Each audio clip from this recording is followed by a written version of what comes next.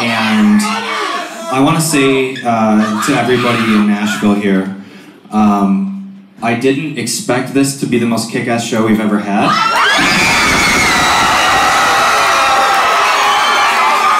And I knew that Nashville was probably going to be legitimately kick-ass, but I didn't know it was going to be this kick-ass. You guys are awesome. I talked to Poppy, and she had a bit of a request for all of you. Um, she's very excited uh, to come back, but she wanted you to say three words for her uh, in order to come back out. And those three words are Monster Energy Drink. So